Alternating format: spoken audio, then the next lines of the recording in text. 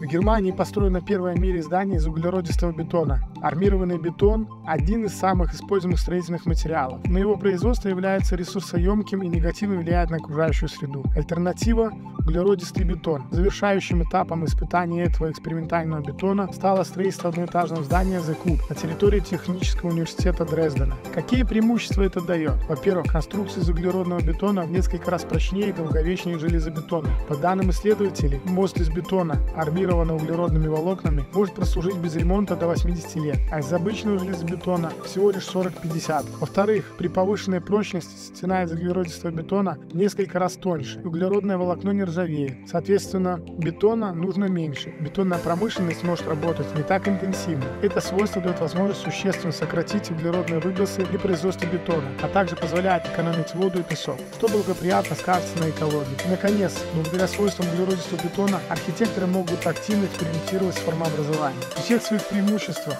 инновационные материалы будут стоить почти 20 раз дешевле углеродистого бетона. Но такое сравнение не совсем корректно, так как при использовании углеродных волокон экономия бетонной смеси может достигать до 75%. Эту разницу важно учитывать при сопоставлении затрат на строительство. Что касается Coop, внутри находится учебный класс, лаборатория, зал для проведения семинаров и презентаций, также небольшая кухня. Общая площадь одноэтажного здания 220 квадратных метров. Углеродное волокно является проводящим, если пропустить через него ток, можно генерировать тепло, объяснили авторы проекта.